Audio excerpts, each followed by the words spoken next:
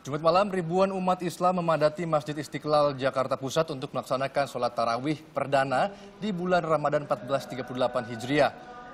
Bertindak sebagai khotib adalah Imam Besar Masjid Istiqlal Nasaruddin Umar. Dalam ceramahnya, Nasaruddin meminta masyarakat untuk meningkatkan iman dan takwa serta menjalankan ibadah puasa dengan baik dan benar. Sholat tarawih berjalan dengan suasana yang khusyuk dan hikmat.